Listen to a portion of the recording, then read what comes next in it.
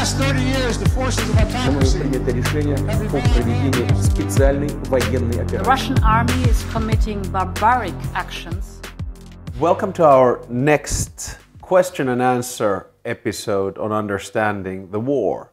And today we're going to be dealing with one of the most important elements of the war, namely energy.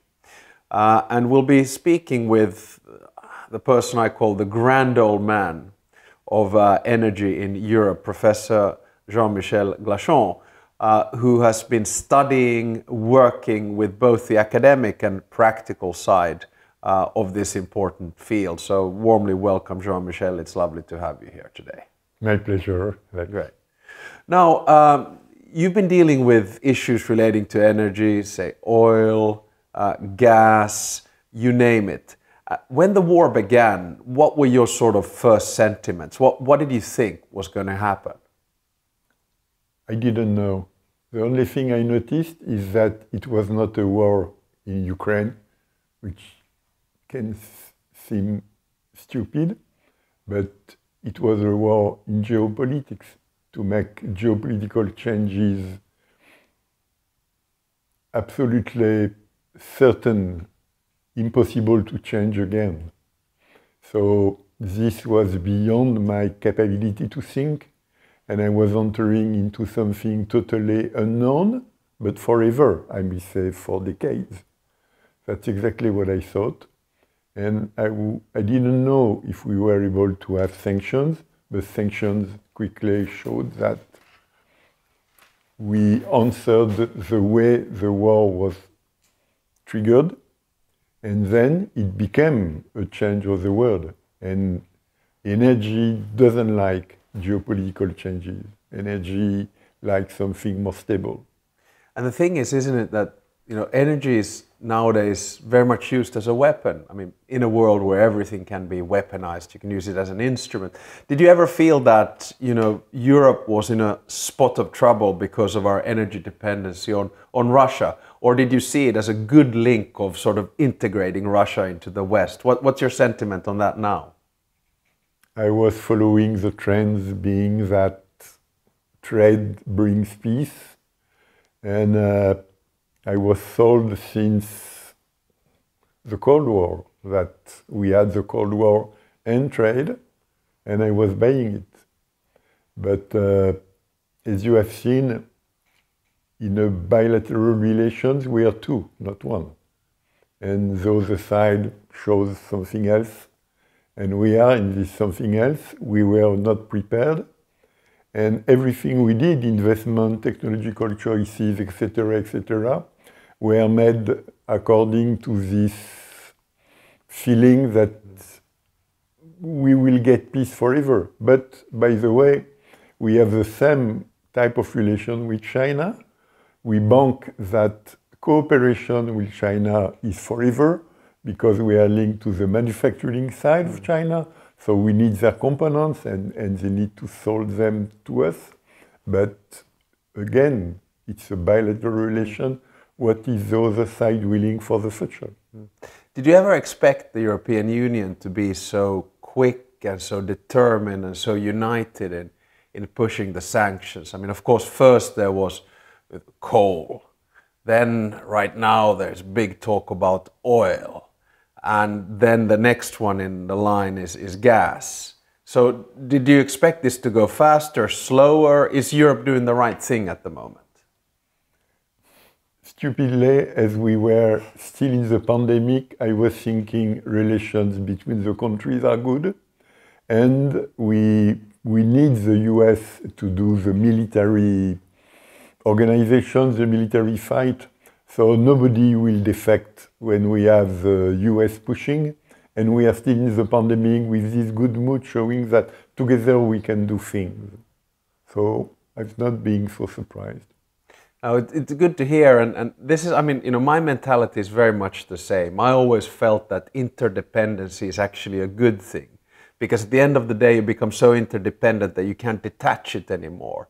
But of course, Europe, to a certain extent, you could say, has been naive on two accounts. One was to be dependent on Russian oil, and gas, and the other one was to be dependent on American security. And to a certain extent, you know, that balance is, is, is changing at the moment. I think American security will still be there, but the Russian energy is, is probably not. So let's say if you were a European dictator now and you were sitting in the European Council, what, what would be your recommendation, uh, you know, as, as the grand old man of energy? What should we do with Russia?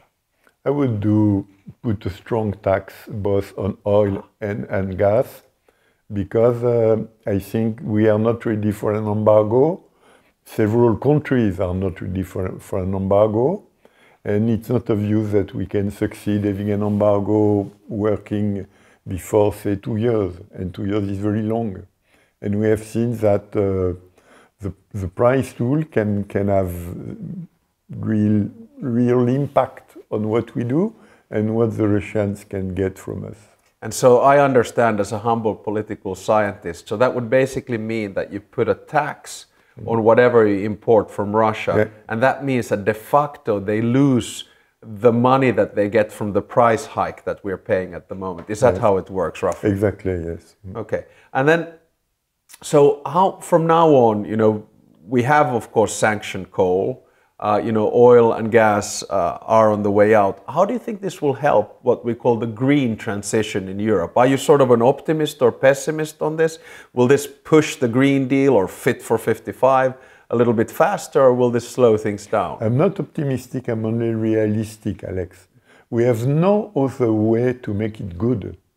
The only way we have to be really independent and to have a vibrant economy because uh, we have we have we, we we have the duty of delivering affordable energy to the consumers and to the industry. It's the only way. Mm. So this does not change.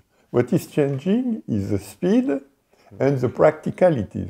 Mm-hmm. The speed because we would like to accelerate, but at the same moment, the consumers are feeling the heat of the prices, and it's unclear if we can simultaneously accelerate transition and uh, giving uh, a wave to citizens to absorb this uh, energy shock. And second, the, the, the what I was saying about international chain, supply chain, is absolutely true also for energy transition. We made two big assumptions in the EU. Russia will give us fossil fuels, and China and China-like countries will give us the components, the raw materials for our energy transition. This has to be rethink. We have already seen that we have shortage of material for offshore wind, and uh, the company Siemens Gamesa is really in trouble. We have also seen in several uh, countries, like Czech Republic, that we have also a shortage of solar panel, and sometimes we have shortage of heat pumps, and sometimes we have shortage of manpower because nobody was trained to deliver a faster transition. And this has been seen by European Commission in his last uh, orientation, being a Repower EU, but was not foreseen in Fit for 55. The, the doc we the doc commission released in July 2021 was assuming that Russia was on our side, that the energy shock is for some months, and that of, of course the supply chain will feed our energy transition. All of this has to be looked at again, to be reviewed, and it is started in this doc called Repower EU, uh, issued the 18th of May with several annexes. Yeah, and this is the, I think, really interesting thing is to see how it really impacts the whole transition. I remember, you know, Mario Draghi, the Prime Minister of mm-hmm. Italy, he, he, he said it very well. He said it, well, all of us consumers and human beings have a choice. Do we want peace or air conditioning? and to all of our listeners and viewers here today, you should know that there is no air conditioning in this office and it is actually quite hot as well. Now, do, do you see, you know, because disruption always leads to change and, and, you know, energy is very much at the center of climate change mm. and we keep on arguing that you need three things. One is regulation. You're like a superstar on that, and you organize a lot of training on energy regulation and what it looks like. Second, finance, which you work on a, a lot as, as well.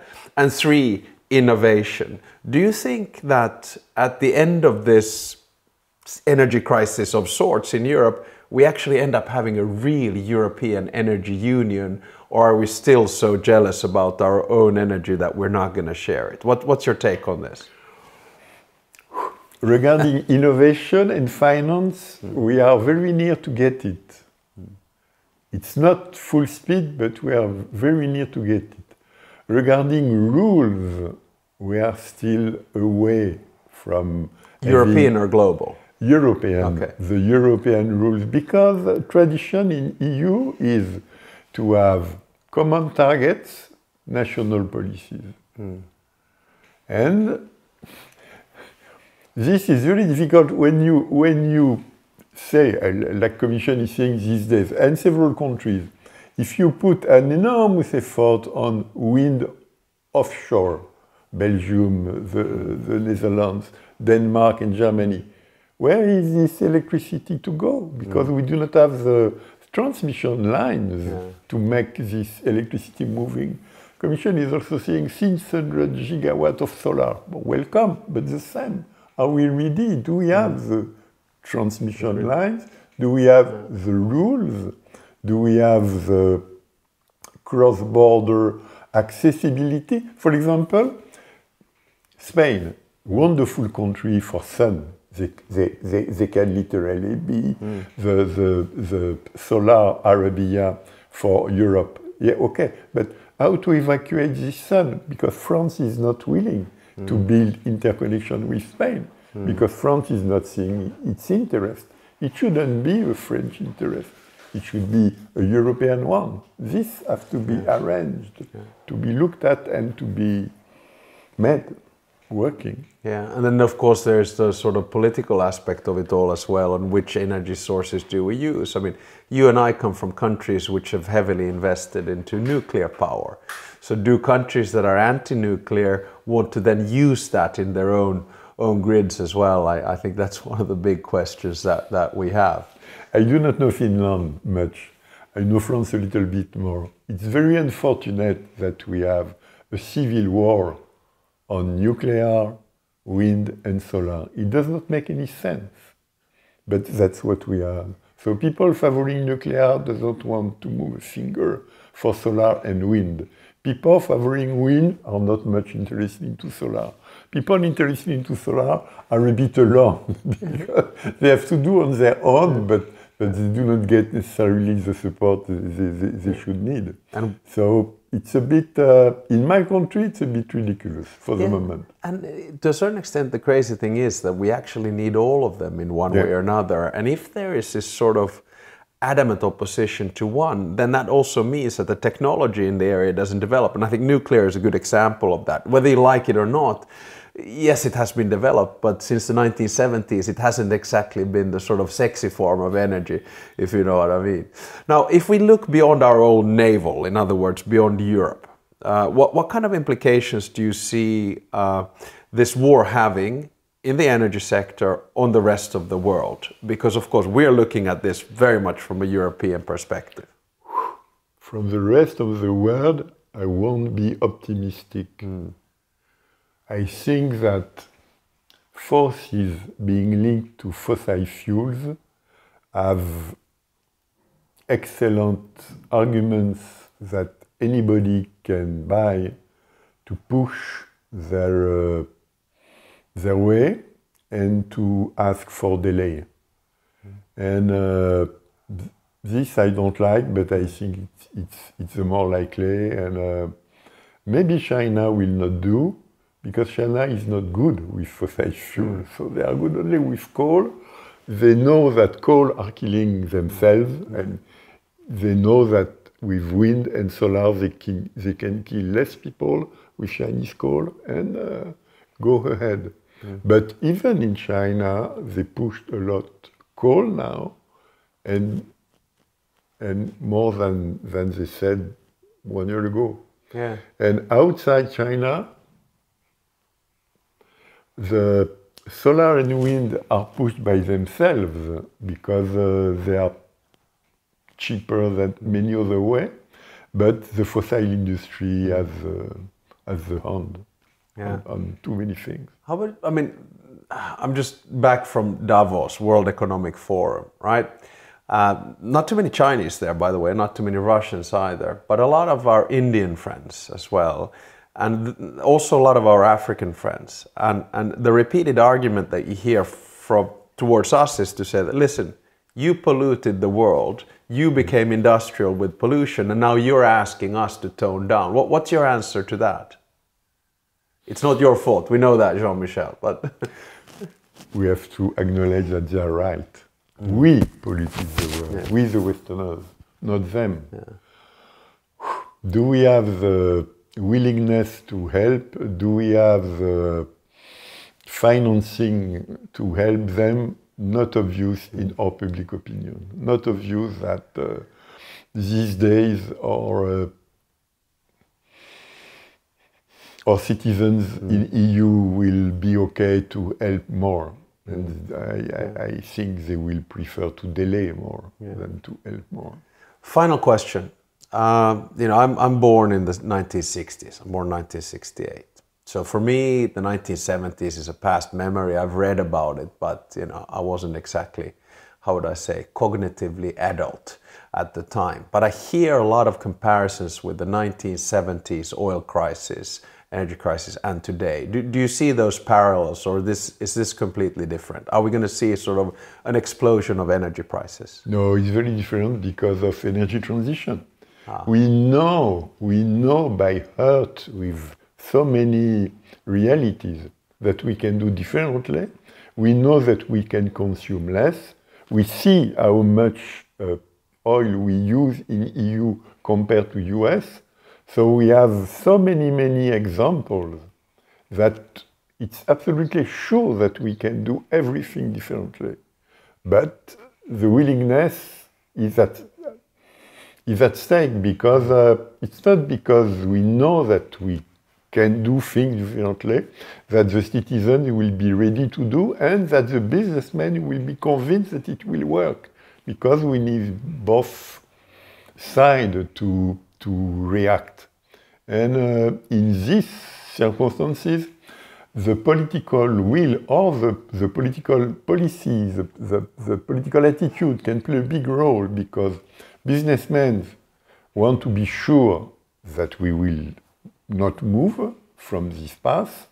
And uh, consumers, if we are able to have half of the consumers, 60% of the consumers with us, it will work.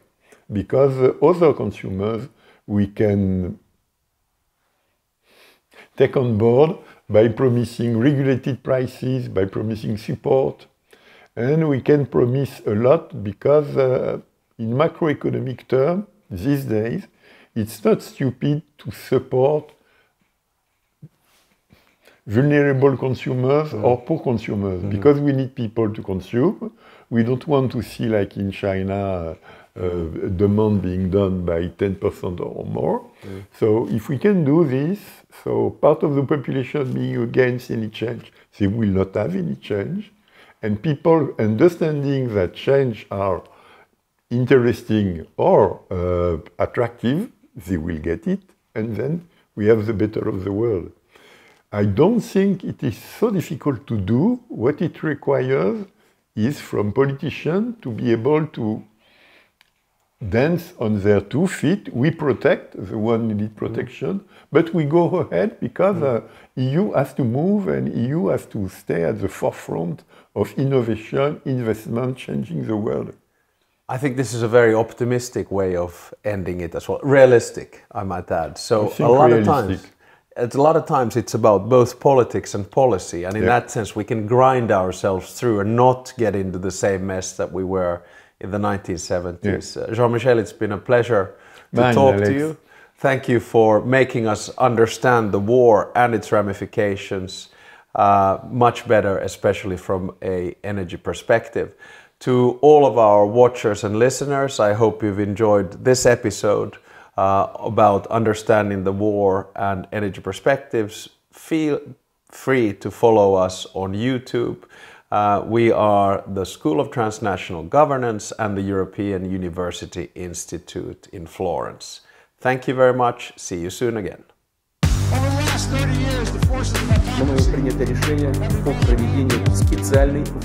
The Russian army is committing barbaric actions